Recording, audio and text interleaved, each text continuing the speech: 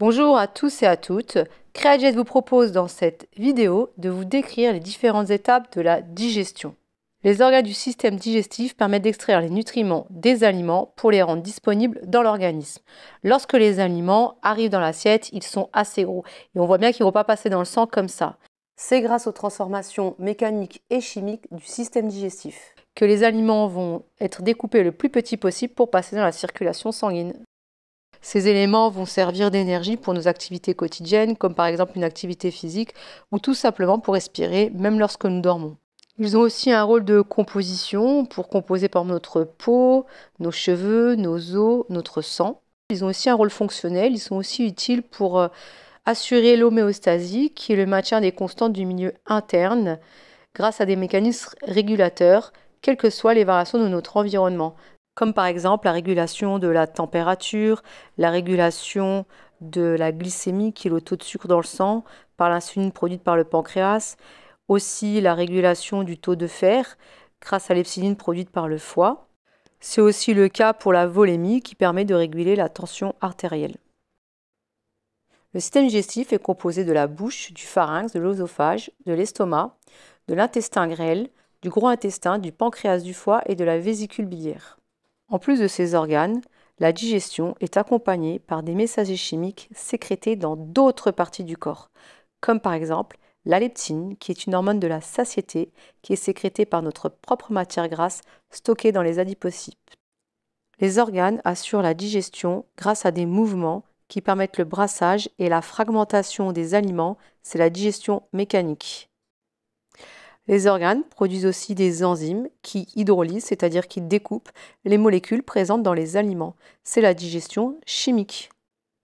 Voyez les enzymes comme des ciseaux, mais sachez qu'il faut une paire de ciseaux par famille d'aliments. C'est-à-dire qu'une paire de ciseaux qui coupe les matières grasses ne peut pas couper les féculents et vice-versa.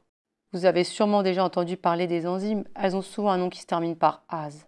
Par exemple, le lactase qui permet de découper le lactose présent dans le lait. L'amylase qui permet de découper l'amidon présent dans le pain et les farines. La lipase qui permet de découper les lipides présents dans les matières grasses. Allez, venez, c'est parti pour la digestion en laboratoire. Imaginez que le bol présent sur la paillasse représente votre bouche qui va accueillir les aliments sélectionnés pour l'expérience. Les aliments sont représentatifs des différentes familles d'aliments importantes à connaître pour respecter l'équilibre alimentaire. J'espère vous proposer prochainement une vidéo sur les familles d'aliments. Je commence par déguster des féculents composés de pain que je coupe avec mes incisives, simulées ici grâce à la paire de ciseaux, et des chics avec mes canines. La digestion est facilitée grâce à la langue qui maintient les aliments contre les dents. Cette digestion mécanique est facilitée aussi par la salive qui est constituée de 99% d'eau et de 1% d'enzymes. Rappelez-vous des enzymes, ce sont les ciseaux chimiques. La salive est sécrétée par les glandes salivaires. On peut facilement sentir des boules sous la langue, ce sont des glandes salivaires. La mastication se poursuit grâce aux molaires et aux prémolaires qui écrasent les aliments. La mastication est répétée sur les différents aliments.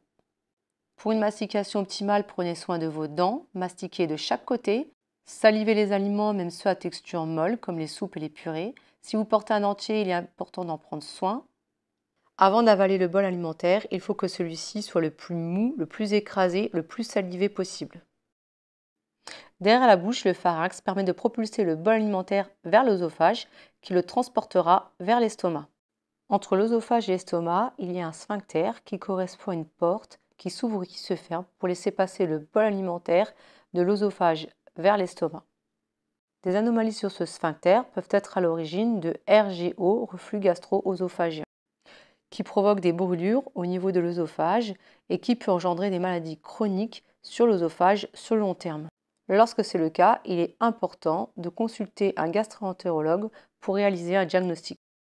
Les aliments ont été mastiqués dans la bouche, propulsés par le pharynx dans l'œsophage, arrivent enfin dans l'estomac. L'estomac est représenté dans notre expérience grâce à ce bécher. La paroi de l'estomac est constituée de trois couches musculaires qui permettent de malaxer les aliments. C'est la digestion mécanique.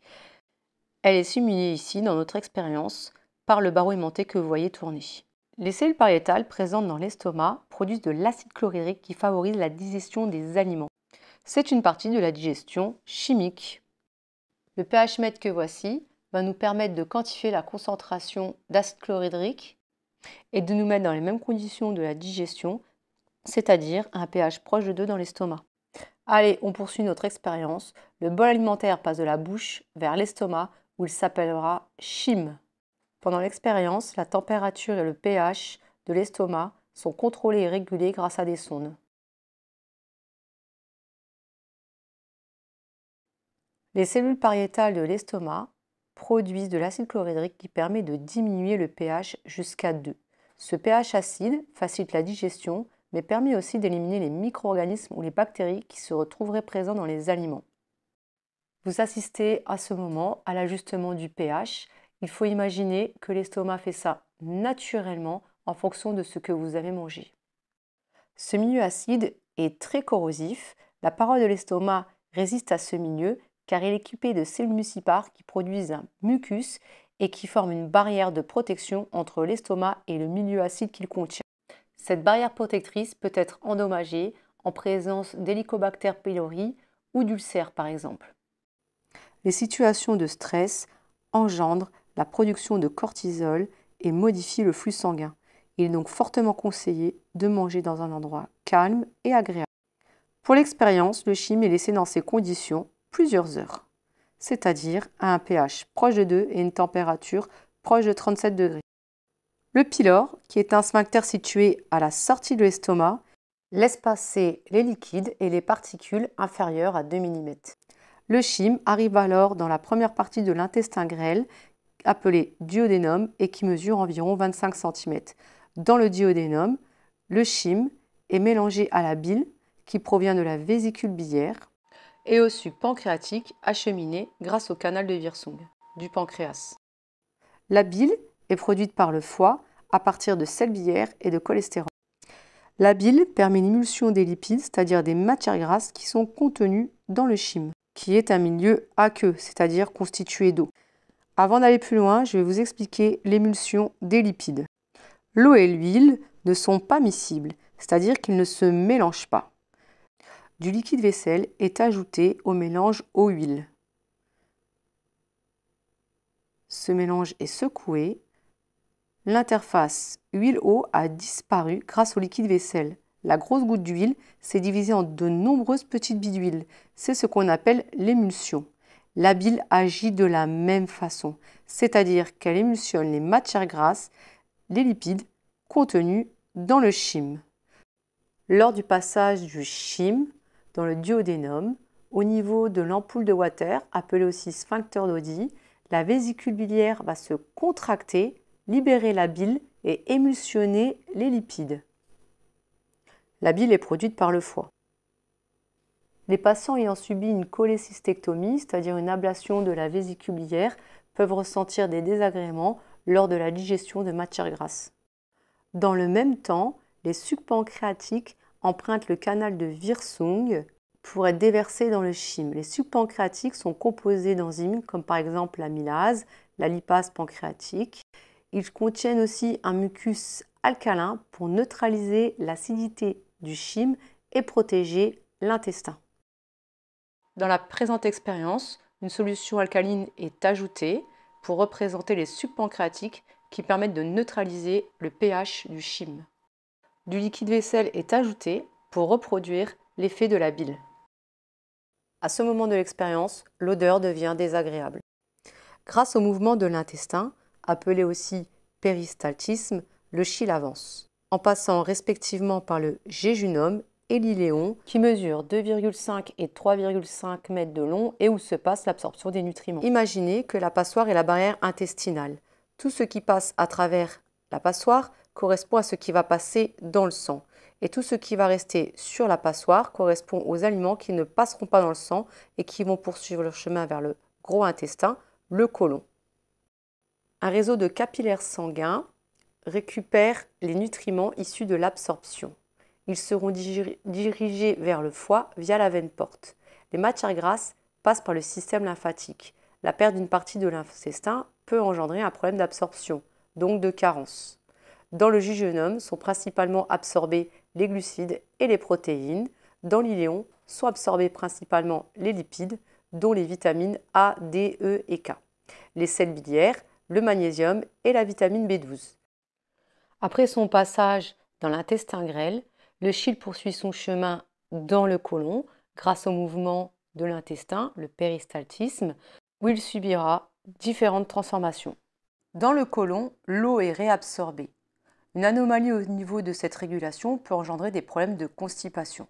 Aussi, les sels biliaires qui n'ont pas été réabsorbés dans l'iléon seront conjugués pour être éliminés. Dans le côlon, il est aussi dégradé la bilirubine. La bilirubine est le résidu de nos globules rouges qui sont arrivés en fin de vie dans la rate. La durée de vie d'un globule rouge est proche de 120 jours. Une coloration jaune au niveau du blanc des yeux et de la peau, appelée ictère ou jaunisse, est liée à la présence de bilirubine dans le sang qui n'a pas pu être conjuguée dans le foie et révèle donc un problème hépatique. Les UV permettent de dégrader cette bilirubine non conjuguée excédentaire dans notre circulation sanguine. Le côlon, comme plusieurs cavités de notre organisme, est habité par le microbiote, appelé dans le côlon flore intestinale, qui est composé de milliards de micro-organismes. Ces micro-organismes fermentent les fibres et produisent des gaz. Elles dégradent aussi le cholestérol. Ces bactéries ont un rôle essentiel pour notre système immunitaire. Par exemple, elles synthétisent des vitamines essentielles, des acides gras à chaîne courte, comme par exemple la valine, qui passeront directement dans notre sang. La flore intestinale nous protège aussi de bactéries pathogènes. Aujourd'hui, des recherches sont réalisées dans le monde entier pour faire le lien entre le microbiote, le système immunitaire, l'obésité, le cerveau, les MICI. Le microbiote se nourrit principalement de fibres contenues dans les fruits, les légumes, les légumineuses, les céréales complètes. Ce sont des prébiotiques. Des aliments comme des produits laitiers ou des légumes fermentés contiennent des bactéries bénéfiques pour notre microbiote. Ce sont des probiotiques. Un déséquilibre au niveau de la flore intestinale est appelé dysbiose. Une alimentation riche en produits raffinés, en friture, riche en sucre, en produits euh, transformés, en additifs euh, alimentaires qui sont par exemple dans les charcuteries, euh, une consommation, la consommation inappropriée d'antibiotiques, le stress, le tabac, l'alcool, la sédentarité sont des facteurs qui risquent d'engendrer une dysbiose. Si cette vidéo vous a été utile, likez-la, partagez-la. Si d'autres sujets vous intéressent, mettez-les en commentaire. Merci.